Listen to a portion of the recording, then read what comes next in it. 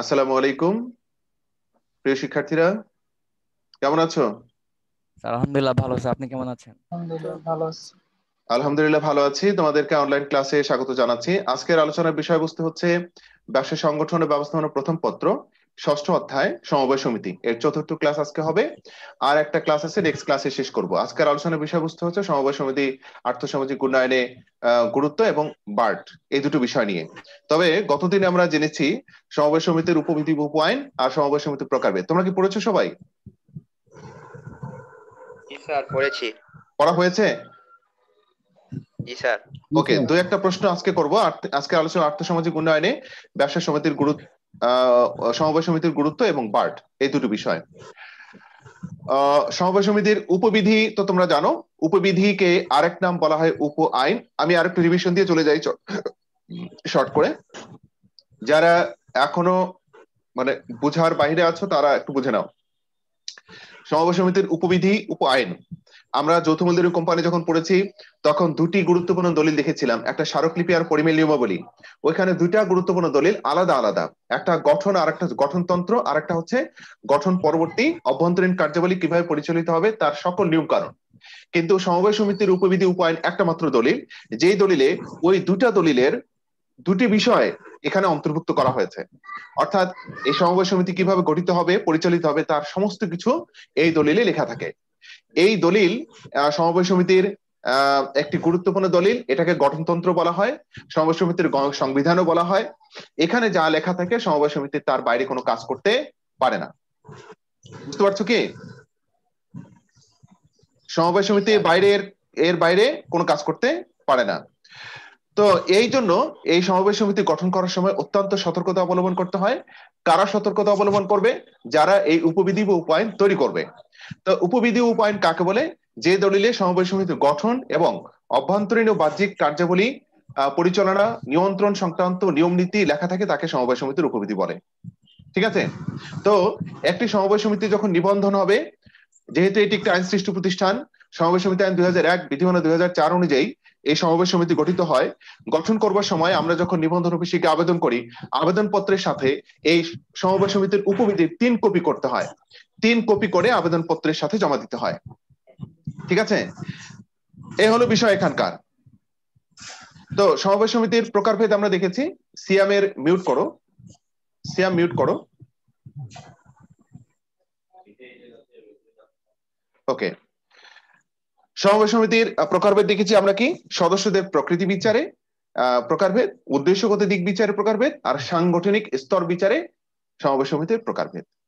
কয় ধরনের আছে বলো দেখি কয় ধরনের প্রকারভেদ আছে এখানে? কত ভাগে ভাগ করা হয়েছে ক্যাটাগরি গুলোকে কত ধরনের এখানে আছে? পাঁচ। পাঁচ। না না। ক নম্বর হচ্ছে সদস্যদের প্রকৃতি বিচারে। এটা পাঁচ প্রকার নির্দিষ্ট না আমি কিন্তু অল্প কয়েকটা লিখেছি। হ্যাঁ সদস্যদের প্রকৃতি বিচার অনেকগুলো রয়েছে। এর মধ্যে আমি পাঁচ তিন ধরনের শ্রেণীবিভাগ। হ্যাঁ পাঁচ প্রকার এখানে লিখেছি। উদ্দেশ্যগত দিক বিচারে অনেক ধরনের আছে এর মধ্যে আমি ছয় প্রকার লিখে দিয়েছি। আর সাংগঠনিক স্তর বিচারে চার প্রকার এটা এখানে উপস্থাপন করা হয়েছে। তো এই এই যে সদস্যদের প্রকৃতি বিচারে উদ্দেশ্যগত দিক বিচারে সাংগঠনিক স্তর বিচারে কার কোনো প্রশ্ন আছে? তোমরা বাসায় পড়ে কি কোনো সমস্যা ফিল করেছ?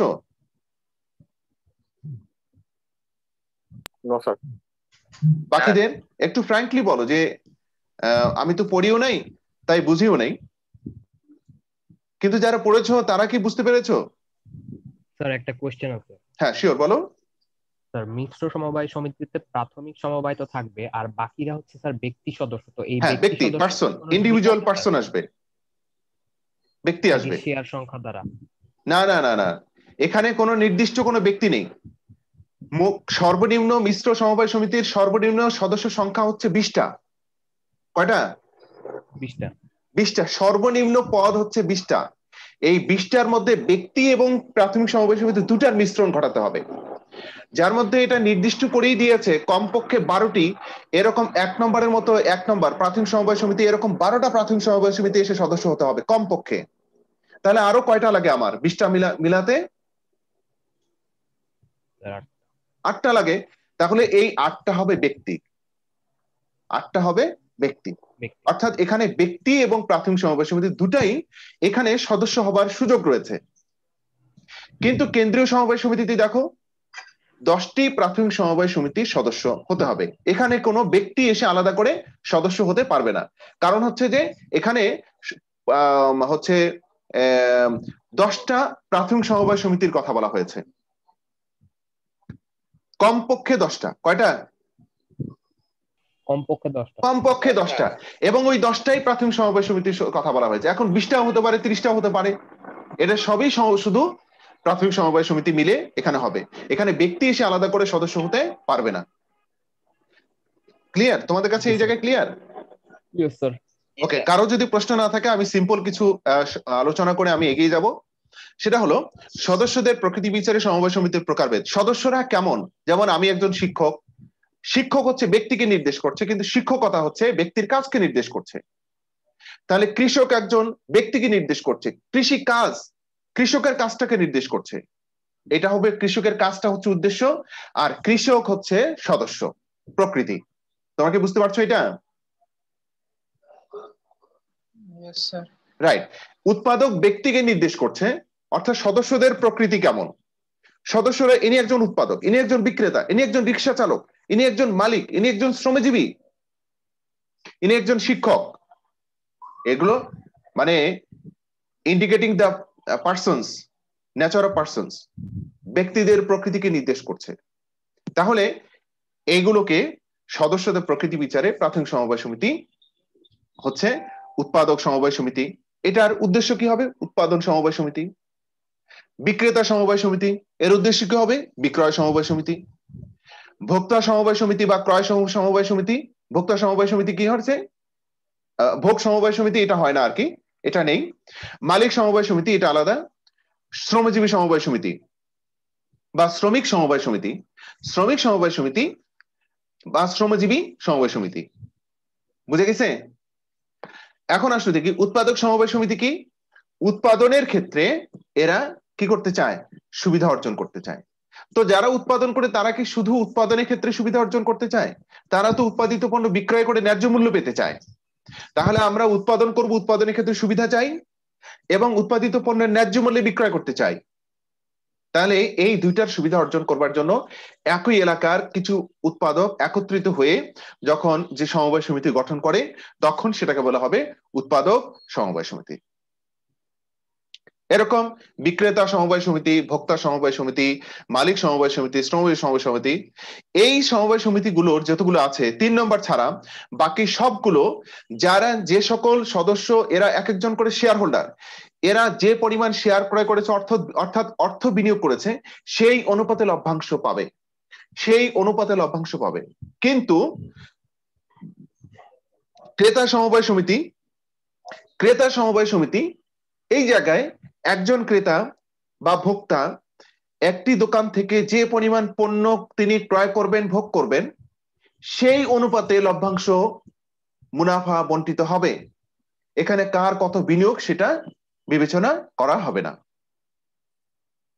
কোনো প্রশ্ন? এই জায়গায় ক্লিয়ার তোমাদের কাছে ক্লিয়ার ওকে এরপরে উদ্দেশ্যগত দিক বিচারে সমবায় সমিতির প্রকারভেদ কি আছে? উৎপাদক উৎপাদন সমবায় সমিতি। ক্রয় সমবায় সমিতি, বিক্রয় সমবায় সমিতি, ঋণদান সমবায় সমিতি, সমবায় ব্যাংক, বহুমুখী সমবায় সমিতি। এখানে ছোট ছোট করে লিখে দিয়েছি।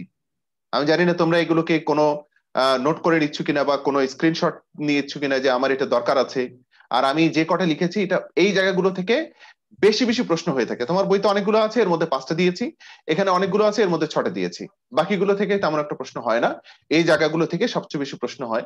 তাহলে এটাকে তোমাকে নোট করে নিতে হবে। মনে রাখতে হবে।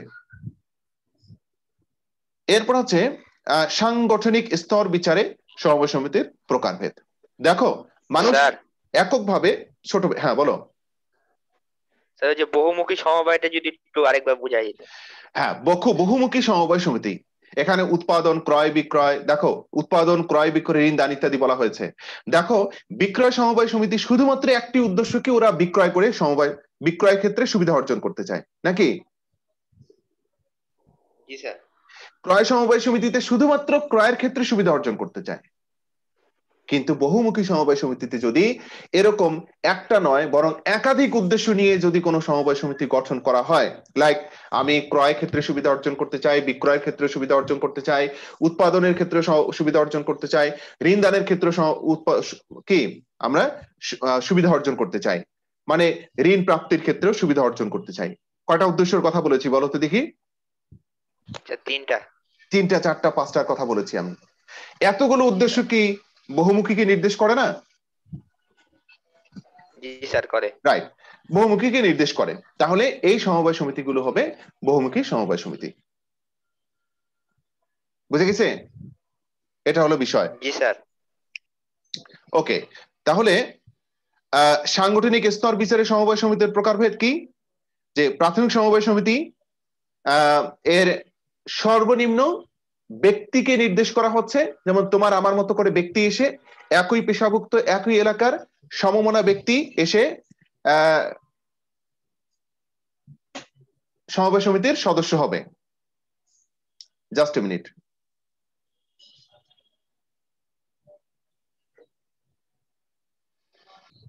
হ্যাঁ যেটা আলোচনা করছিলাম যে প্রাথমিক সমবায় সমিতির ব্যক্তি এসে শুধু শুধু ব্যক্তি হতে হবে।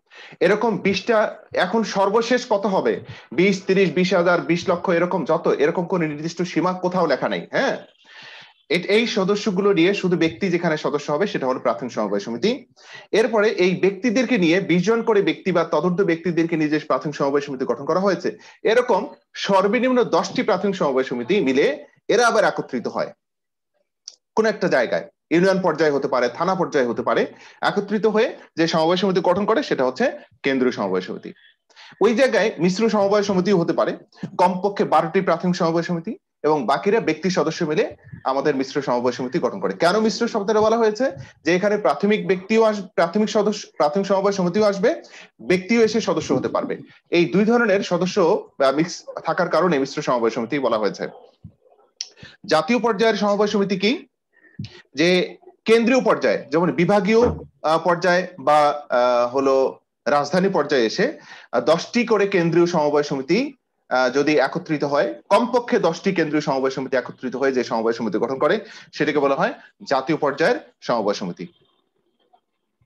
জাতীয় সমবায় সমিতি। কার কোনো প্রশ্ন আছে এই জায়গায়? এখন আসলে কি আর্থসামাজিক উন্নয়নের সমবায় সমিতির গুরুত্ব, এটা তো আলোচনাই হলো না। ঐক্য সচেতনতা সৃষ্টি হয় কর্মস্প্রে সৃষ্টি, আশাবাদ জাগ্রতকরণ করা হয়। তারপর হচ্ছে বৃহদায়তন ব্যবসায় প্রতিষ্ঠা সঞ্চয়ের আভাস আবাস সৃষ্টি ও মূলধন গঠন। খুব কেয়ারফুলি পড়তে হবে। ঋণের সুযোগ সৃষ্টি হয়, আমরা সবগুলোই বুঝতেছি। মধ্যস্থ ব্যবসায়ীদের দূরত্ব হ্রাস করে। কেন বিক্রয়ের ক্ষেত্রে সুবিধা অর্জন করতে হয়? বিক্রয়ের ক্ষেত্রে উৎপাদকরা কেন সুবিধা অর্জন করতে চায়? মধ্যস্থ ব্যবসায়ী যত থাকবে উৎপাদকরা তত ক্ষতিগ্রস্ত হবে। বেকার সমস্যা সমাধান হয় আর দারিদ্র দূরীকরণ হয়।